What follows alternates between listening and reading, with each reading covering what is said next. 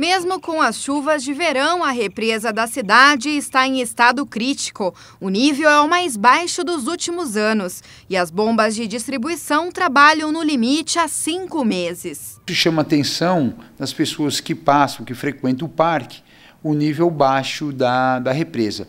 Isso não está atingindo o, o, o contribuinte jundiaense porque a gente tem um recalque do rio Atibaia, onde a gente recalca de 1.000 a 1.200 litros por segundo, que atende a cidade de Jundiaí. Segundo o presidente da DAI, a situação está sob controle. Porém, se não chover o suficiente nos próximos meses, há a possibilidade da falta de água. A gente tem uma capacidade de represamento de 9 bilhões de litros e uma capacidade de três meses de carência de chuva. Nós já estamos há cinco meses, quer dizer, dois meses além do que do normal. Se a natureza não contribuir e continuar essa seca, né, não é só na cidade de Jundiaí que nós vamos ter problema. A gente já está tendo problema em Campinas, em Itu, no litoral. Quer dizer, não é um problema só de Jundiaí, é um problema da natureza, como te disse anteriormente. Para que o abastecimento não seja comprometido, o presidente da DAI pede que a população economize água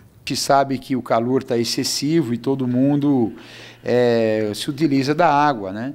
Então a pessoa, o tempo seco, a pessoa quer lavar um, carro, quer jogar água na calçada, na rua, por causa de poeira, lavar um jardim.